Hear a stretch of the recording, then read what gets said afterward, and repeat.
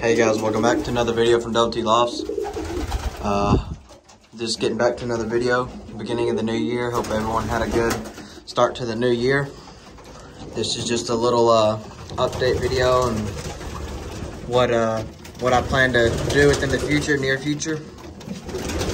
You can see here I put wire instead of the boards. a lot easier when they take a bath out there. Um, this building I'm standing in right now, I'm gonna clean it. Actually, I have it planned out that this building that I actually have, that I keep my feet in, give me a second get over there.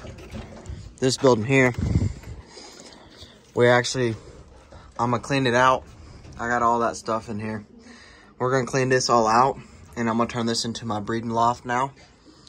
And uh, get all my birds breeding up. We're getting a new building so I can put all my feed and all my supplies. We're getting a building. I think we're probably gonna put it over there, but I don't know yet.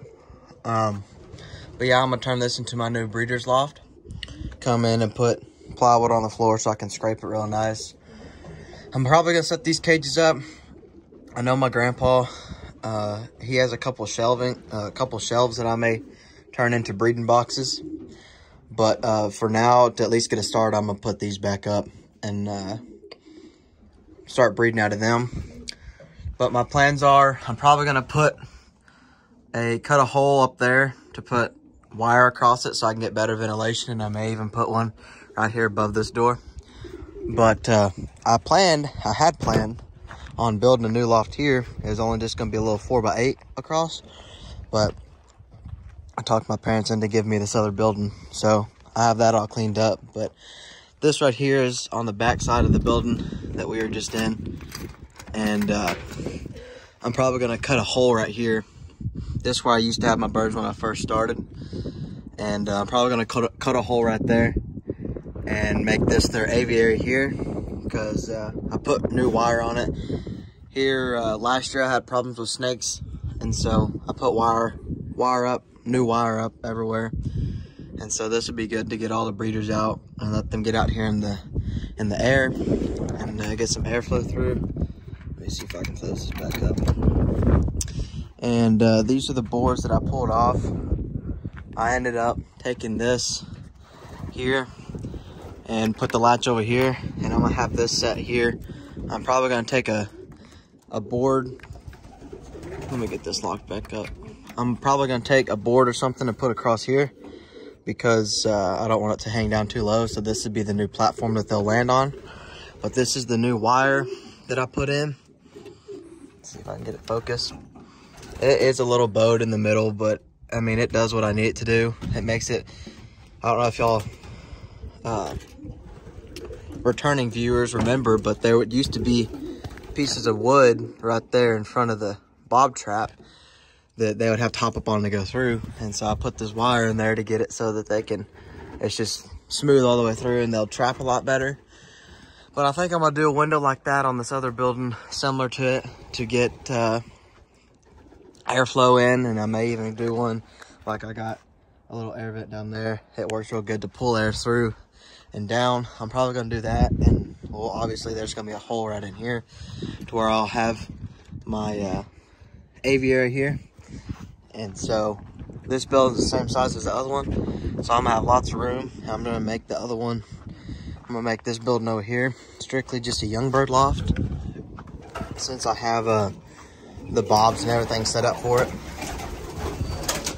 I'm getting a new, I ordered some new grit and some 2023 rings for this year. And um, I got a new water too to go on the breeders.